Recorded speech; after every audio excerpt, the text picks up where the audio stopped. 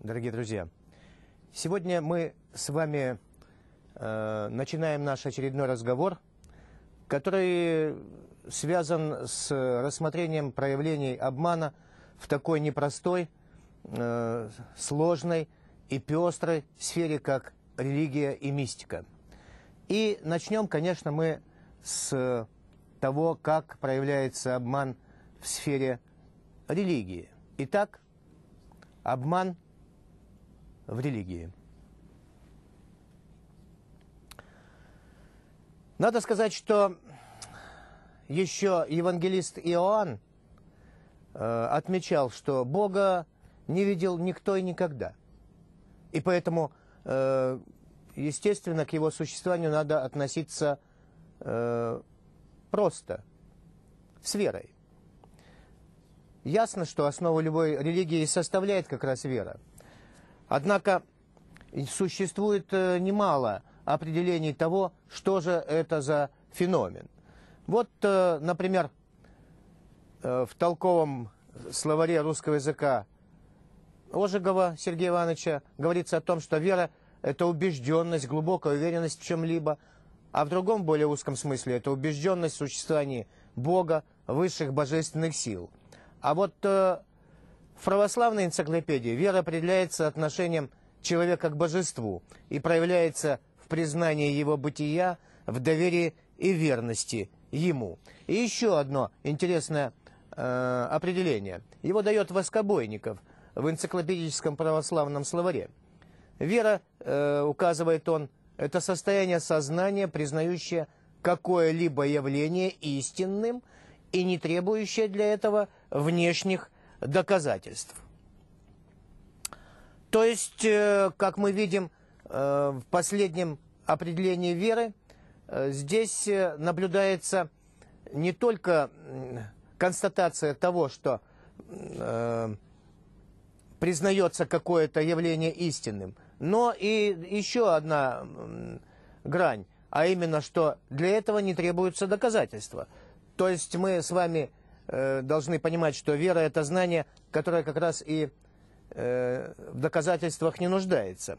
Ну, видимо, человек так устроен, что э, не может обойтись без веры, и поэтому просто вынужден э, бездоказательно принимать большую часть получаемой им информации.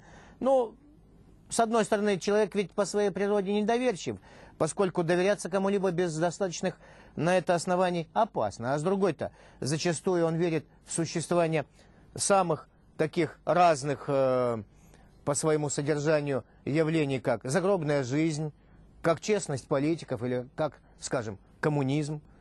Почему же так происходит? Любая вера, в том числе, конечно, и религиозная, есть э, некое соглашение – которое разум человека заключает в собственным подсознанием. При этом интеллектуальная часть э, сознания добровольно соглашается не предъявлять критических замечаний к определенным явлениям в обмен на ряд преимуществ в виде уверенности в себе и окружающем мире, положительных эмоций и душевного комфорта. Конечно, у каждого народа в определенные исторические периоды – были свои собственные верования, которые, конечно, э, изменялись с течением времени, ну, то ли постепенно, то ли быстро. Вот, э, скажем, э, древние славяне.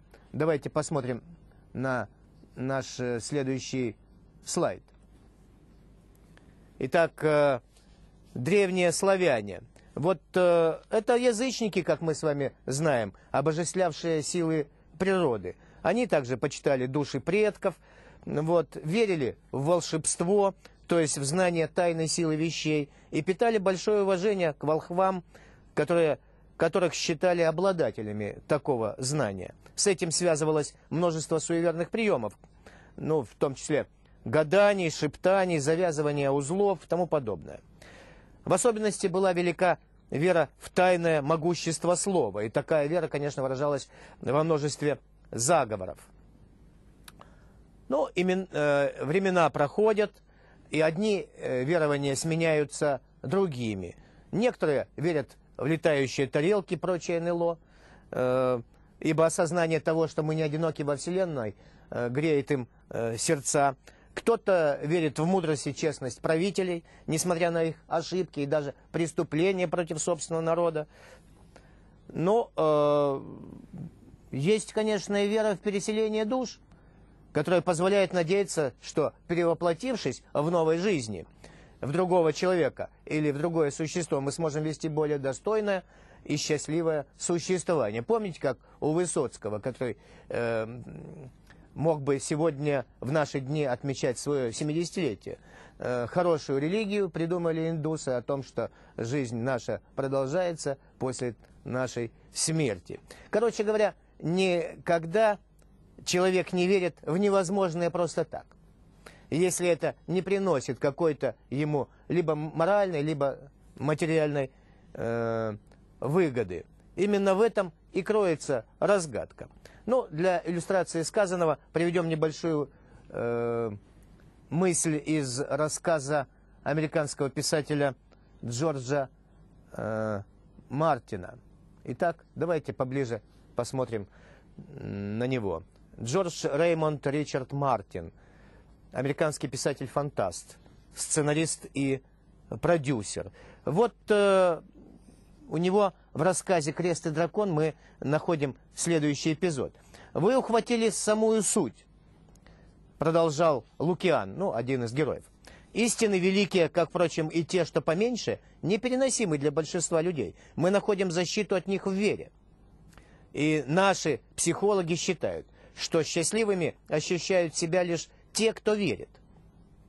Истин много, а вот вероучения недостает – да и скроены они, неважно, на скорую руку, противоречия до ошибки. А ошибки порождают сомнения. Наша вера теряет опоры, вместе с ней от нас уходит счастье. Это вот э, один, так сказать, эпизод, одно мнение. А вот, скажем, есть и другая позиция, которая может либо опираться, либо, так сказать, отталкиваться, или даже... Э, идти в разрез с тем, что мы сейчас слышали. Э, вот эту позицию занимает известный американский психолог Уильям Джеймс. Вот он перед нами. Э, американский философ и психолог, один из основателей и видный представитель прагматизма и функционализма. Вот он писал, что вера – это возможность действовать в условиях дефицита информации – она подразумевает уверенность в том, что с теоретической точки зрения еще можно вызывать сомнения. А так как мерилом веры служит готовность к действию, то можно сказать, что вера – это готовность действовать ради цели, удачное достижение которой не гарантировано нам вперед.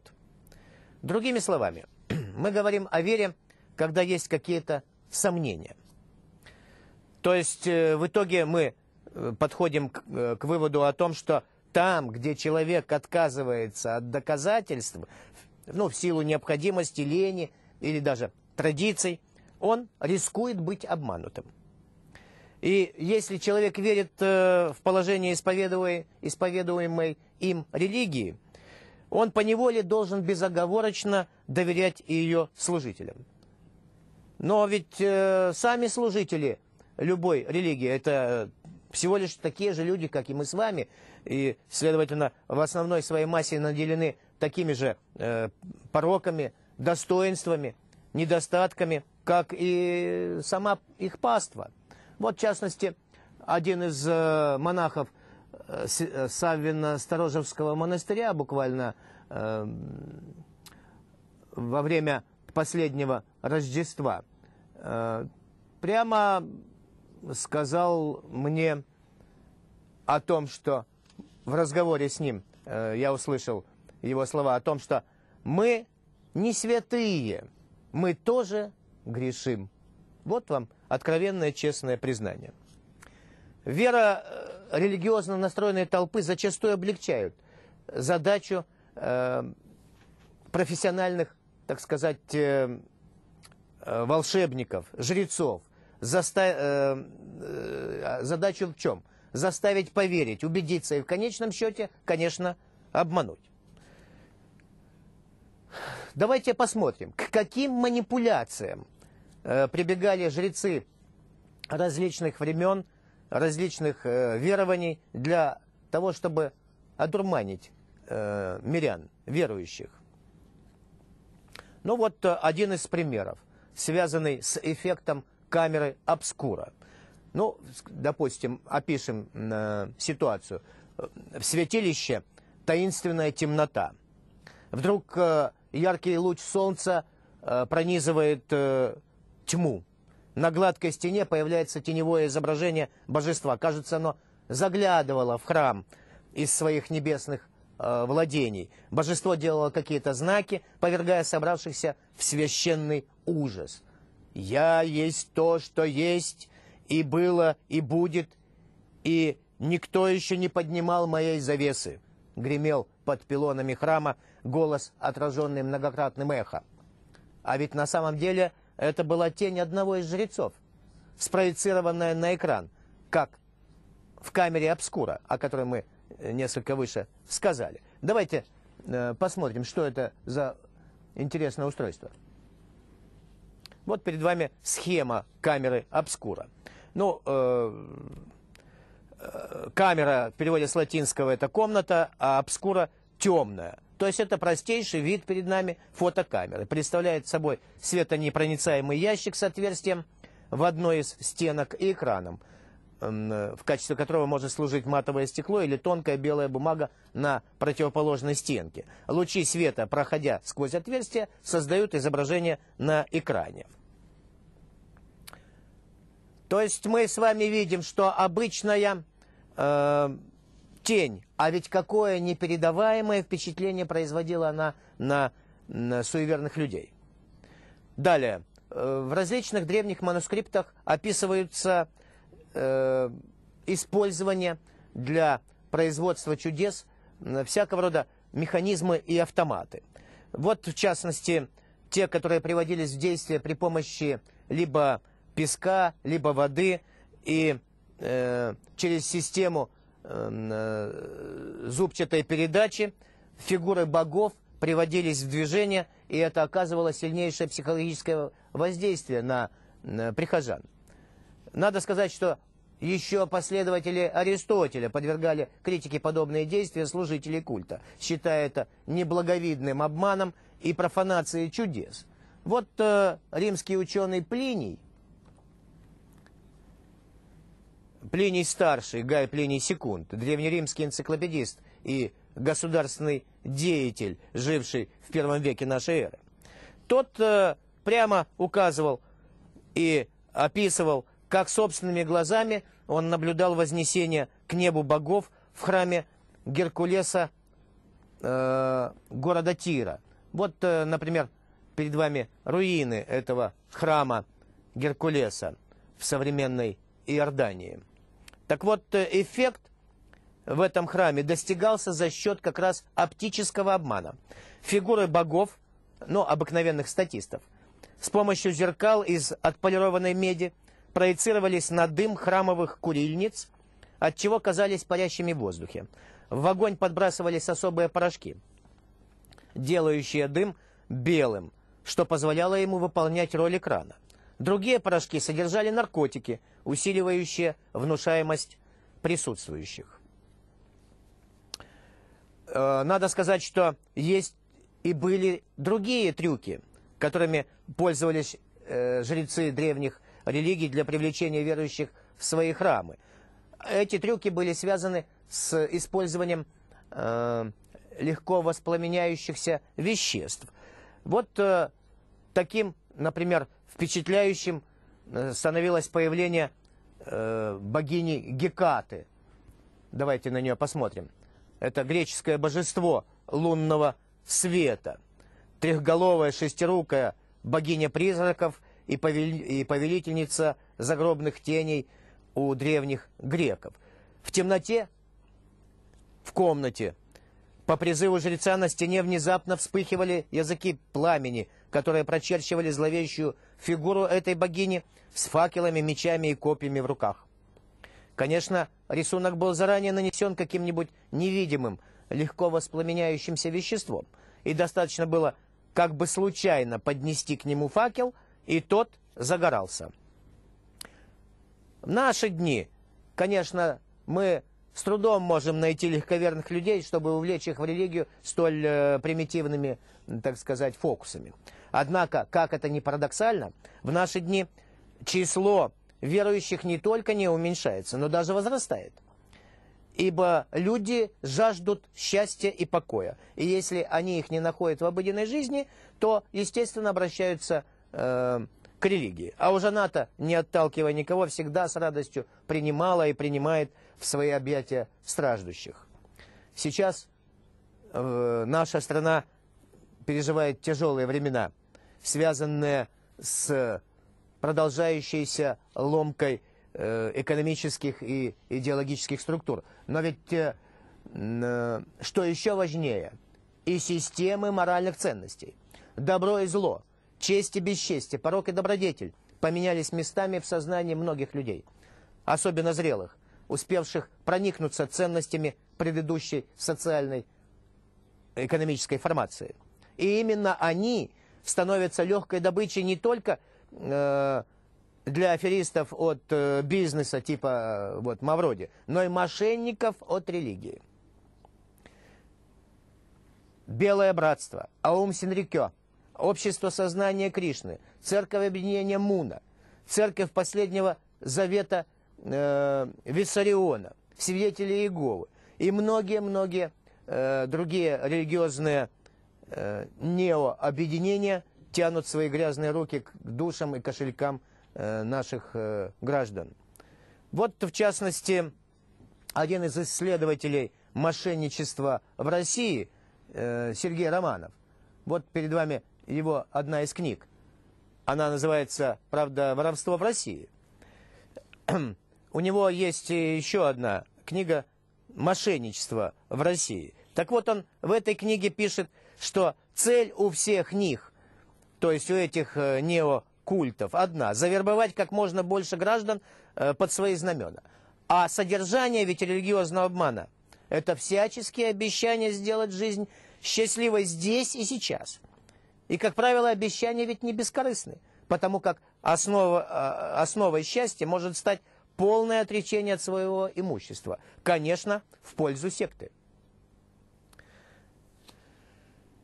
Вот ведь как это происходит. Сначала человека новенького напичкают разнообразной э, литературой, и если он доверился настолько, что оставил свой рабочий или домашний телефон, то звонки с приглашением начнут учащаться э, и регулярно повторяться долгое время э, с приглашениями на те или иные э, собрания и э, семинары.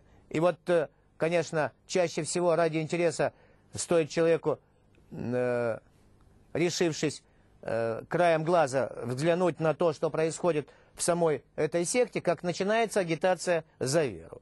Вот э, в Мунистской, допустим, церкви объединения, это делается так.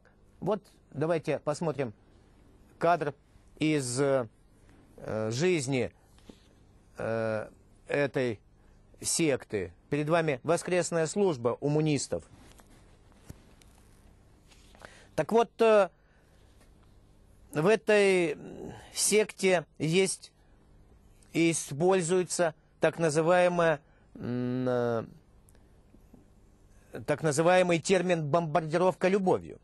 Любопытный приходит на собрание мунистов, ему говорят о том, какой он э, распрекрасный, замечательный, красивый, необычный человек. И все это не может, конечно, ему не нравиться. И если он хотя бы отчасти уверовал в свою неповторимость и неординарность, ведется дальнейшая обработка. Он должен отречься от всего, что было раньше. Бывшие друзья теперь недруги, родственники ничего, кроме зла ему, не желают. Разные другие учения, кроме э, учения мунистского, неправильные и коварные – ну, а далее следующая ступень обработки – отучить человека думать. Для этого дается э, мантра, чтобы ее повторять и повторять. Ну, скажем, у Кришнаитов это Хари Кришна, у, у Богородичного центра это век святых, сила праведных, ну и прочее. И этот текст э, должен постоянно вертеться в голове человека. Ну и, наконец, э, на следующей стадии еще более усиливается отрешение от мира сего – так называемой суточной индоктринации. То есть, когда человек все время находится среди своих якобы коллег по э, вере и слушает богослужения, проповеди, участвует в медитациях и ини инициациях. Если обратиться к Уголовному кодексу, то деятельность большинства э, религиозных неокультов можно трактовать как мошенничество и обман в целях именно наживы. Но вот э, доказать это весьма затруднительно. Ну, прежде всего, потому что одурманенные жертвы не спешат в милицию, искренне считая, что отдают свое имущество на благо, на благое дело. Ну, так в секте, например, э, Виссариона, вот, э, в частности, мы его видим в окружении своей паствы. Надо сказать, что за последнее время э, этот э, Виссарион даже пополнел. Так вот, э, в этой секте его последователи добровольно расстаются со своими квартирами в пользу общины. Ну а э, во-вторых, потому что установить такой вид обмана чрезвычайно э, сложно. Обычные аферисты ведь и мошенники заключают липовые договоры, оставляют хоть какие-то следы за которое можно уцепиться правосудию. А вот э, дельцы от святой веры не подписывают ведь никаких договоров со своими жертвами. Они гарантируют Царство Божье на земле и небе без бюрократических проволочек. Верьте мне, дети мои, и вы обретете счастье. Говорят они в своих э, проповедей, проповедях. И несчастные верят им и несут последнее. Естественно, Единственный способ уберечься от религиозного обмана – это критически э, относиться к любым новоявленным учениям, которые э, делают установку на слепую веру, а не на человеческий разум. Ну, а если человек э, предпочитает доверять духовным мессиям, то он рискует не только личным имуществом, но и благополучием своих близких. Так э, Коротко мы себе составили представление о том, каким образом обман может проявляться в области религии. Теперь перейдем к сфере мистики. Итак, обман в мистике. Мишель Монтень говорил о том, что тверже всего мы верим в то, о чем меньше всего знаем. И, конечно, обман в мистике мы можем проследить на таких, э, скажем, э, примерах, как э, составление гороскопов в астрологии, как карточные гадания, как хиромантия, спиритизм, магия, ну и тому подобное. Казалось бы, начался уже 21 век. И успехи, конечно, науки Э, впечатляют. А ведь посмотришь на книжные полки, становится не по себе. Потому что люди-то раскупают не учебники по физике, химии, э, механике, кибернетике, э, информатике, а сонники, пособия по практической магии, по различным гаданиям, ну и прочую эзотерическую литературу. Ведь это даже не 19 век с его верой в науку, а скорее даже средневековье. Вот э, давайте обратимся э, к тем э, данным, фактическим данным, которые приводит, в частности, э, всем известная газета «Московский комсомолец». Вот, в частности, э, мы видим э, ее... Э, заставку. Вот э, в одном из номеров э, указывалось, что буквально каких-то 10 лет назад в Москве действовало не менее пяти тысяч разного рода гадалок, магов, экстрасенсов, колдунов. Около 15% из них занимаются только предсказаниями. 30% снимают порчи с глаза, пытаются находить людей и вещи, а около 30% варят приворотные зелья. Это каких-то 10 лет назад. Естественно, что на сегодняшний день число э, всех этих э, так называемых специалистов, естественно, увеличилось. И увеличилось, э, надо сказать, значительно. Э, отметим, что все гадальщики вот эти делятся на уличных, надомных, салонных и э, полуподпольных, то есть которые не рекламируют свою деятельность и работают только по, э, так сказать, рекомендации от одного к другому. Ну, э, надо сказать, что уличный гадальщик э, имеет в день от 3 до 12 клиентов, и каждый э, платит ему от 3 до 10 долларов за сеанс. Тот, кто работает на дому, э, естественно, может принять от 2 до 8 человек, и, но цены здесь уже от 20 до 300 долларов. А, скажем, э, среди полуподпольных вот этих магов и целителей, экстрасенсов, э, вот список заполнен на несколько дней вперед. И они принимают до 12 человек. Цены э, также в пределах 300 долларов. Э, надо сказать, что ежедневно э, в Москве подвергается обману вот такому около 30 тысяч человек. Обратите внимание, ежедневно. И мошенники каждый день кладут в себе в карман, но совершенно немыслимые суммы. Совершенно немыслимые. До нескольких десятков миллионов рублей. Среди этих современных, с позволения сказать, магов нет узкой специализации. Любой из них за соответствующую плату э, вам предложит все то, о чем вы его не попросите. Но, э, тем не менее, используются при этом, конечно, разнообразные средства для гадания. Вот э, перед вами некоторые из них. Аксессуары для гадания. Мы видим здесь и всякого рода особые карты, и, э, значит, вот книги, и э, свечи, булавки, но и прочие принадлежности. Тем не менее, каждый кудесник, любимец богов, предпочитает заниматься каким-то одним направлением э, паранормальной деятельности. Но э, самые безобидные из них, на мой взгляд, это астрологи. Вот, э, в частности, перед вами средневековая иллюстрация астрологической анатомии человека, где мы видим э, знаки зодиака как-то завязаны на те или иные э, элементы и части человеческого организма. Конечно, мы говорим о том, что астрологов с определенной стороны можно считать самыми полезными среди всех э, вот этих так называемых э, э, целителей и магов, э, потому что ведь хороший гороскоп – это гороскоп, построенный на том, что подходит всем.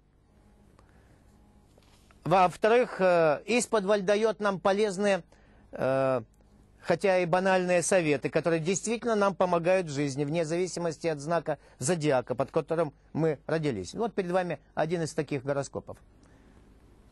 Построенный э, на 1 января 2000 года э, в Нью-Йорке, Соединенные Штаты Америки. Вот э, если мы с вами возьмем, допустим, знак Водолея – это знак одного из моих знакомых, которого я очень хорошо знаю. И поэтому все э, предсказания мог проверить на его жизни спокойно. Так вот, э, если кто сомневается, пусть попробует, заглянув в любой гороскоп, заменить свой знак на любой другой. И вы увидите, что 70% прогноза подойдет и вам. А почему не 100? Да потому что и ваш собственный знак дает приблизительно тот же процент попаданий. Учитывая, э, что многие фразы гороскопов можно толковать достаточно вольно. Перейдем теперь к карточным гаданиям. Как происходит э, угадывания будущего и прошлого при помощи карт. Ну, конечно, какие-то вот засаленные кусочки разноцветного картона, которые тасует ясновидящее, имеют такое же отношение к нашей судьбе, как и сама хозяйка к потусторонним силам. Э, но в противном случае ей не нужно было бы заниматься столь жалким промыслом. Ибо, скажем, зная будущее, а она себя э, э считает таким знатоком, зная будущее, можно за месяц ей было бы составить э, сказочное состояние на биржевой игре или на соотношении курса валют. Однако ни э, один маг или прорицатель вместо того, чтобы при помощи карт без труда выяснить комбинацию правильных номеров в том же лотто миллиона или, или э, скажем, на бирже, почему-то тратят свое драгоценное время на решение наших личных проблем. Не кажется ли вам, что этот аль альтруизм несколько подозрителен? Тем не менее, зачастую в словах гадалки, вот, в частности, один из образов ее запечатлен на художественном полотне – Михаил Врубель, «Гадалка», э, конец XIX века. Вот картина находится в Третьяковской галерее. Так вот, э, в словах гадалки оказывается достаточно много близкого к нашей жизни, что заставляет поверить э, в нечто сверхъестественное. Но не будем спешить с выводами. Здесь все решают профессионализм и знание человеческой психологии. Какое же знание? Какие правила, какие приемы этого гадания? Вот один из э, приемов состоит в том, что гадание осуществляется в форме э, полувопросов, полуутверждений. При этом гадалка отслеживает реакцию клиента. И, конечно, клиент э, сам у гадалки хочет, во-первых, найти подтверждение своим мыслям, причем так, чтобы это выглядело объективно. Э, поскольку ведь гадалка не имеет к нему э, отношения. А во-вторых, получить информацию о тех возможных неожиданностях, о которых клиент не подозревает. И понятно, что если первая цель его визита при квалифицированном гадании еще может быть достигнута, то второй он вряд ли достигнет. Кроме того, одно из основных правил, которых придерживается э, большинство гадалок, заключается в том, что, несмотря на любой самый неприятный прогноз человеку всегда дают надежду на будущее, на лучшее. И вот за эту как раз надежду люди и платят. Правда, некоторые гадатели из числа сильных личностей с садистскими наклонностями, наоборот, усугубляют традиционный э, прогноз всяческими ужасными подробностями, вызывая страх за будущее и усиливая природную внушаемость клиента, они тем самым Э, привязывают человека к себе, подспудно внедряя в его сознание мысль о своей э, незаменимости. И, естественно, за снятие такого заклятия колдуны требуют огромные деньги. Несчастные же готовы отдать последнее. Но помимо гадания карточного существуют и другие способы э, пресловутого познания будущего. Ну, например, хиромантия. Как мы знаем, в ней используется человеческая ладонь. Само слово хиромантия от греческого э, хейрос, ру, э, рука, и мантия, гадание, пророчество. Так вот, э, линии, борозды и фигуры служат для хиромантов богатым материалом для фантастических предположений в подробностях, описывающих судьбу владельца этой ладони. Давайте обратимся вновь к образу э, мадам Грицесуевой в бессмертном романе Ильфа и Петрова. Вот, как мы видим, э, очень запомнившиеся нам кадры из фильма Леонида Гайдая 1971 года, э, как происходило сватовство к вдове Грицецуевой. В ее роли тогда э, была Наталья Леонидовна Крачковская – советская и российская актриса театра и кино, заслуженная артистка РСФСР.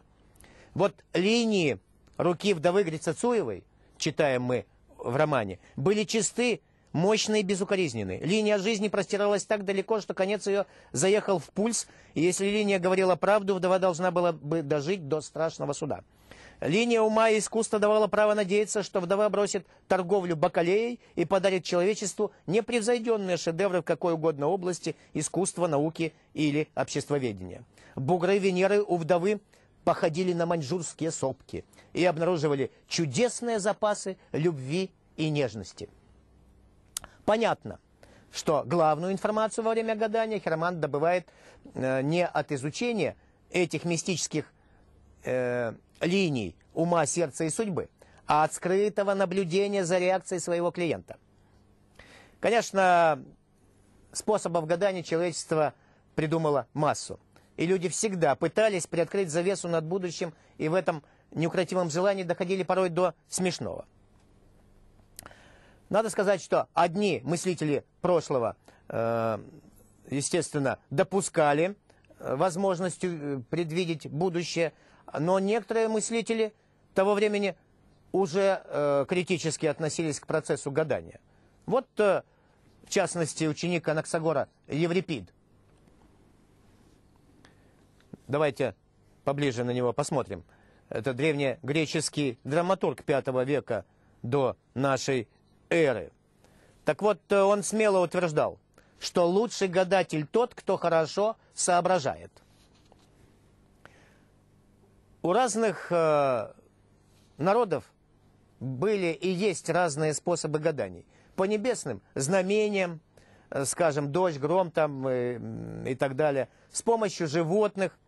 Э, а вот э, э, среди наших э, русских э, людей гадания по лучине, э, ну и ряд других.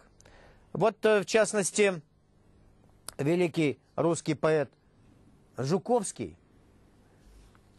Василий Андреевич, он же и не только поэт, но и переводчик, критик, почетный член Петербургской академии наук, академик, тайный советник.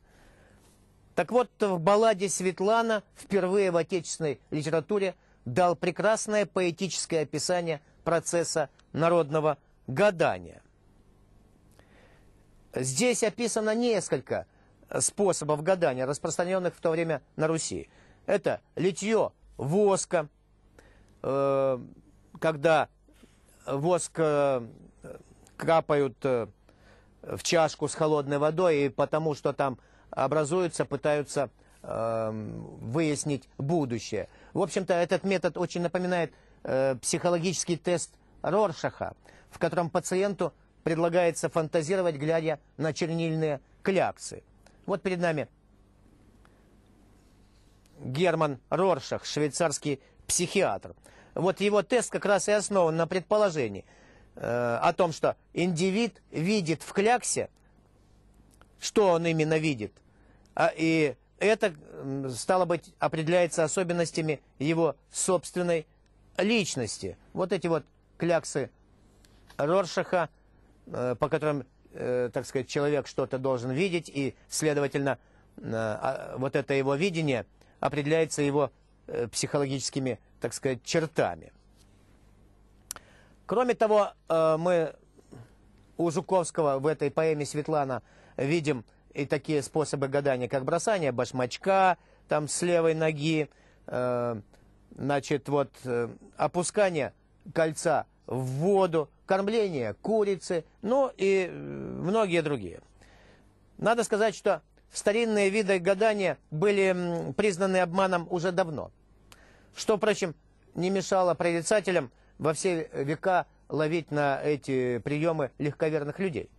Ну так, с давних времен ведут свое происхождение так называемые авгуры, то есть жрецы, которые предсказывали э, будущее по полету и поведению птиц. У римлян официально существовала жреческая коллегия авгуров. Такое гадание считали обманом и высмеивали уже в первом веке до нашей эры. Вот э, по словам Цицерона, например, вот э, как раз он перед нами, Марк Туллий Цицерон, древний римский политик и философ, блестящий оратор. Так вот, по его словам, эти авгуры, гадая верующим, еле сдерживали смех, поглядывая друг на друга. Отсюда у римлян и пошло выражение «улыбка Авгура», которое относится к циничным обманщикам. Раскрывая механизм воздействия современных колдунов на человеческую психику, следует говорить о предварительном настрое сознания человека на вот эту мистическую волну, на возможность совершения чуда. Физиологи называют это созданием доминанты, то есть сильного очага возбуждения в коре больших полушарий. Вот э, как раз для этого, допустим, э, северные шаманы э, били в бубен, скакали как одержимые, а нынешние используют околонаучный антураж. Э, биополя, космическую энергию и многочисленную туманную фразеологию, которая э, призвана, конечно, заменить невнятный шепот при наговорах э, наших деревенских бабушек. Вот, в частности, в марте 93 -го года миллионы телезрителей России были свидетелями спиритического сеанса, когда известный колдун, э, он и не стеснялся так себя называть, Юрий Лонга, давайте на него э, посмотрим, Юрий Андреевич Лонга, Головко, настоящая фамилия, ну, якобы магистр белой практической магии, народный целитель. Так вот, он вызывал из космического информационного банка дух Виссариона Сталина. Атеисты назвали бы этот фарс опиумом для народа, а христиане, конечно, э, сатанизмом. Обратите внимание, как ловко подстраиваются маги-колдуны к реалиям сегодняшнего дня. Информационный банк. Это так современно, компьютеризировано – вроде банка данных по биржевым сделкам, отдает наукой, да еще с ссылкой на сам космос. Маги и колдуны, как правило, не чуждаются приемов, разработанных наукой, искусно вплетая их в свои э, бессмысленные заклинания. Ну, вот, э, например, отец магии Папюс. Э, настоящая фамилия Жерар Анкос, французский оккультист, маг и врач. Так вот, он ни капельки не смущаясь, в своем знаменитом трактате «Практическая магия» продается на полках наших магазинов, приводит вполне реальные, пробированные сотнями гипнотизеров приемы определения гипнабельности и погружения пациентов в так называемый гипнотический сон. Все это действительно работает. Но при чем тут магия и потусторонние силы? В другом разделе Папюс приводит совершенно бредовое заклинание – предназначенная для вызывания якобы духа самого Соломона. Ну, о нем мы знаем, что это третий еврейский царь, легендарный правитель Израильско-Иудейского царства э, в X веке до нашей эры, в период наивысшего расцвета этого царства. Так вот, заклинание для вызывания духа Соломона. Читаем у Папюса. Сила царства, будь под моей левой ногой и в моей правой руке. Слава вечная, дотроньтесь до моих обоих плеч и направьте меня на путь победы. Милость и правосудие, будьте равновесием и блеском моей души. Ум и мудрость, доставьте мне венец. Духи Мальхута, проведите меня между колонн, на которые опирается здание храма. Ангелы Нетнаха и Хода, утвердите меня на кубическом камне Иисода. О, Жедулаэль, о, Гебраэль, «О, Миферет, Бинаэль, будь моей любовью! Рух Хокмаэль, будь моим светом, будь что ты есть, и то, что ты будешь, о Китериэль! Ишим, поддержи меня во имя Саддай! Херувим, будь моей силой во имя Аданаи!» и так далее. Хотя, если подумать, э, это, э, э, с позволения сказать, заклинание имеет немалый смысл, но, конечно, я думаю, не в плане вызывания духов, а в плане произведения мощного воздействия на впечатлительных клиентов любого мага. Чем непонятнее, чем таинственнее, тем больше производится воздействие. Дорогие друзья, сегодня мы с вами вели речь о том, как проявляется обман в непростой, сложной и запутанной религиозно-мистической сфере. Мы привели лишь несколько, так сказать, примеров. В следующий раз нам предстоит э, рассмотреть проявление обмана в очень далеком от религиозно-мистической сферы, а именно э, в мире игр и спорта. А сегодня мы с вами прощаемся. Всего вам доброго. До новых встреч.